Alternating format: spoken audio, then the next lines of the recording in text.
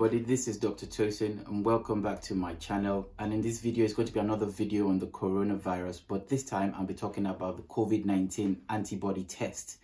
Now recently um, the antibody test has been rolled out across the NHS trusts for healthcare workers to get tested.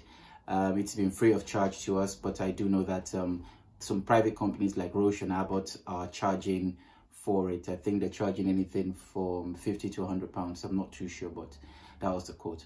Anyway, so I got the chance to get the antibody test done. And um, two days ago at, at, work, in the middle of my shift, I get a phone call, um, random withheld number. And um, normally, you know, withheld numbers, you don't pick them. They're like, okay, let's pick this one. And who's calling me in the middle of the day? And lo and behold, it's from the labs and they tell you, oh, it's Dr. Taiwo, blah, blah, blah. They confirm your date of birth just to make sure you're speaking to the right person. And they go, your antibody test was positive um, I'm like, yeah, so what next? They're like, yeah, we just let you know that test is positive. I ask if I get a text. They said, no, you don't get a text. Um, I tried to inquire what exactly it meant and I didn't get any more information anyway. So that was the end of the phone call.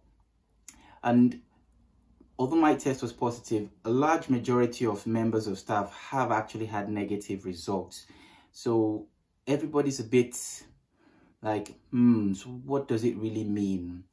So I got thinking, how does that affect me? How does that affect my family members? Have I had a recent infection? Was I infected a long time ago? Was I exposed? Am I immune? Good questions. Now, before we go on, I think we best give some basics. What is an antibody? What's this antibody?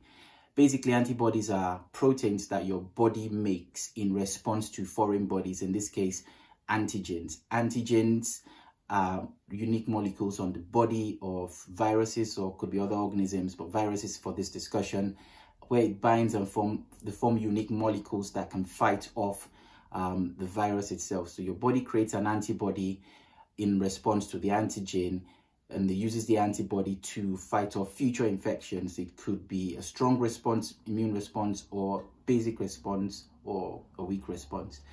Sometimes antibodies confer long-term immunity, which is what I suspect we're trying to determine. Um, further research and inquiry from other sources, names withheld, I find I think there's an ongoing large UK-based research called REACT, where they are kind of testing people randomly to find out if you can be given long-term immunity from the coronavirus anti going back to antibodies, I kind of digressed a bit. So those are what antibodies. Now for anti for the sake of antibodies, there are two types of antibodies. Basic ones are the IgG and the IgM. IgM tells you if you've got a recent exposure to an infection, and the IgG kind of tells you that you were exposed a while back. Uh, could be anything from two to three months or even longer, and that's the, the, the higher the IgG levels, the um, more we can determine if you are building some form of immunity to an infection, in this case, the coronavirus. So how it works is that your body produces um, these antibodies so that in the future, if perchance you get exposed to the virus or an infection, you can produce the antibodies that are unique to that particular virus to help you destroy the virus, kill the virus, quarantine the virus, whatever response your body mounts to it and that's how we tend to want to build long-term immunity. So this all sounds very good, at least that's what I thought. Uh, but I did not know whether I'd been exposed and I had IgG antibodies or IgM antibodies, which was what I was kind of disappointed about.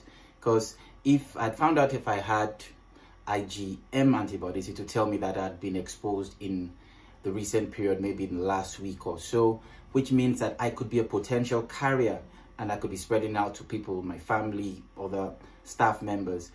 But if I had had it um, a longer period and had IgG antibodies, for instance, it could mean that I'd, I'd been exposed a while back and I developed maybe some form of immunity, we don't really know, but at least I'd, I'd been able to mount an immune response to this infection. So in response to this, what I did was the next day at work, I went down and hunted down the COVID squad. We've got the COVID-19 squad and went to their office to have a chat with one of the gentlemen. Um, it was an intriguing chat. Have a listen. I'm not sure if we sent a text. No, definitely Um, not text. A phone call, but not text. Okay. So it's uh, antibodies detected, Yes. and it's the IgG. So at the moment, we're only doing IgG. We don't have IgM. Okay, so we're only doing IgGs. Yeah. which is a bit long term. Okay, so okay, so that's at least that gives me more more context because it means I'm looking at something more at least two to three months infection, which kind of fits with the pattern I was thinking. Okay. When when did you have your symptoms? Now I didn't have uh, when I had when not looking back I, during the main symptom period when a lot of people had symptoms. I didn't have symptoms. Okay. When I now tracks what looked like symptoms, this was first week in March. There was no lockdown then. No, There was no lockdown then because what happened was that I did a set of nights. I finished work here, finished a set of nights, did some strenuous activity on Friday morning, tried to lay slabs at the back of my house. Uh, obviously, that was quite, it, it was heavy work to be honest with you, carrying the slabs and putting it down.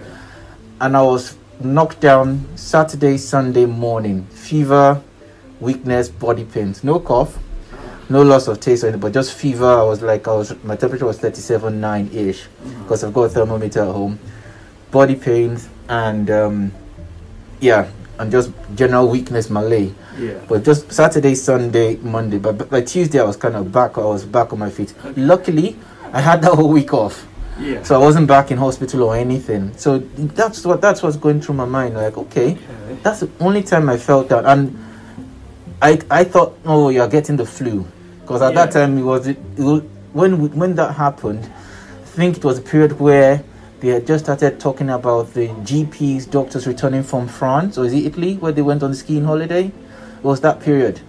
Okay. So begs the question: Maybe we already had COVID around Oh no, before I, then. I think we did because there was um, what we've seen is um, I think yours is one of the first of maybe one only the few that you said you've had symptoms in March yeah, and it shows that you have antibodies.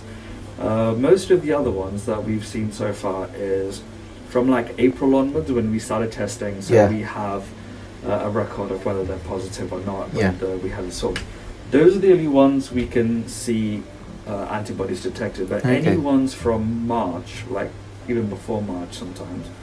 Uh, like same like really bad symptoms, yeah, okay, but no antibodies were detected. interesting.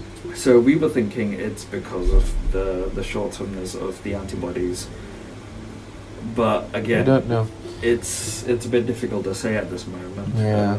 Um, another thing is another obviously next theory I had was maybe I was just exposed to the normal people at work probably. during that same high because Yeah. it was a high concentration period that a lot of the doctors kind of went down rapidly. Yes. Yeah. So it might be that as well. I don't know. But anyways, Yeah. at least I've got some context. Thank you very Yeah. much. You're welcome. All right then. Have a great day. Door closed or open? Uh,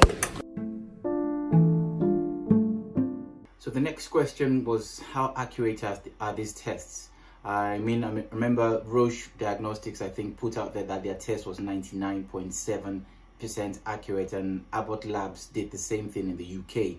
Now, what this means is that um, they, they've got a high specificity and a high sensitivity. Now, the sensitivity of the test is the ability of that test to detect the antibody in the blood if it actually exists. So the higher the sensitivity, the less the false negative results we get. Now the specificity of a test is the ability of the test to show that the antibody is truly not present in the serum or blood, hence reducing the number of false positives. So the better the specificity, the lesser the false positive results that you get. And in this case, that helps the test to be uh, more accurate. And Roche and Abbott Labs in the UK seem to claim that their tests are quite um, accurate.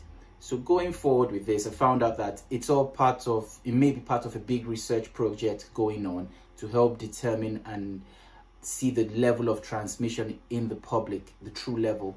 Uh, it could be that the figures we are getting from only testing patients coming in might not be true figures. We don't really. So, what know. does this mean for the average individual? Um, if you are able to get the test for the cost, the, the cost that they are charging, anything from forty to hundred and fifty pounds.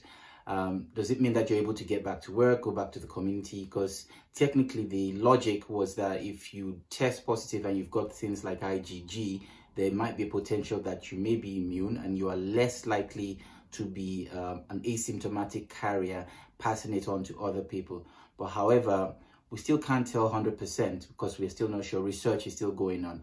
Uh, on the flip side, um, if you test negative, what does that mean? Does that mean you keep staying at home? Do you keep shielding?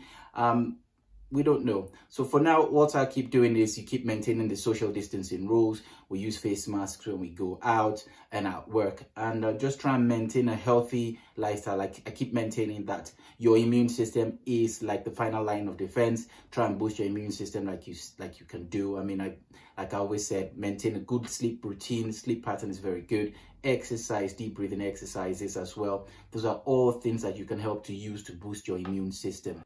Now, how does this all affect the easing of the lockdown rules? Again, everything is still uncertain. We're still not sure. Can these tests help us get key workers back to work, people more in the grocery store, the frontline workers, elderly people? Will it protect them if they get the test?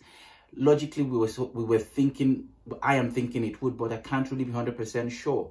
And with lockdown rules going down, we are seeing a resurgence of diseases in places like, well, America, some states in America reporting peaks in cases, places like Florida and other places as well. And even in Germany, there seems to be another peak happening there or resurgence of disease, I should say. Will that happen here? We can't tell in the UK. Back home in Nigeria, cases are still peaking as well. So a lot of this is still uncertain. I think my take is we still have to continue maintaining social distancing. It may still be too early to ease lockdown completely until we, are, we get some level of certainty on how these antibody tests work.